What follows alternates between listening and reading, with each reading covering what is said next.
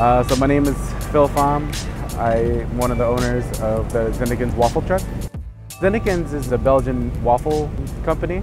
So we serve authentic um, Belgian waffles, specifically on the food truck.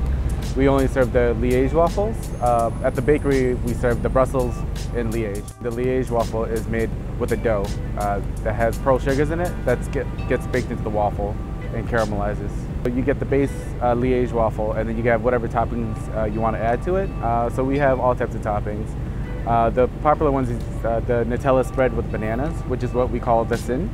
And then another popular uh, item is called the Fruit Delight, which has the Belgian chocolate with bananas and strawberries.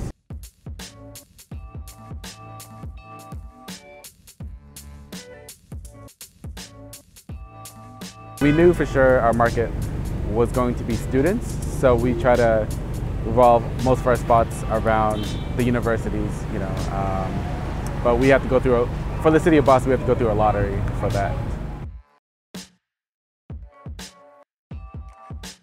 My first time uh, having a food truck itself was actually a waffle truck uh, out of New York City.